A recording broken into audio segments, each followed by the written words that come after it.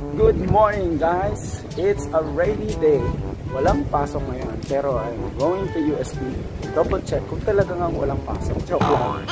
The reason why kaya kailangan kong pumunta ng USP it's because gusto kong mag-download ng mga videos na pwede kong panoorin maghapon. Nakaboring. Alam mo, isa sa mga downside kapag walang pasok. Since walang internet sa bahay. Okay, let's go.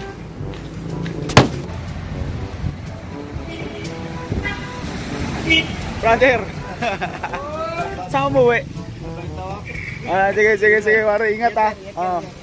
So guys, confirm, wala nga pasok. Pumasok siya, kawawa naman. Walang pasok. So, sarado ang gate. Pero dito lang naman tayo mag-stay eh, dyan sa gate na yan. Mag-download tayo. Okay? Ah, walang pasok. Yeah. Walang pasok. Kaya sarado. Ah, sarado. So, guys, no, sarado dito sa USD, di tayo makakapasok. Nandito lang tayo sa gate. Pero ayos lang yan, basta naabot ng wifi dito. Ah, ayan, tulad yan, yung, yung truck na nasa likod ko, mag-deliver yata, pero mukhang hindi sila papapasukin. So ngayon pauwi na tayo. Sa mga nasa bahay dyan, no, mga tropang honestly chatting, stay safe, huwag kayong uh, lalabas masyado.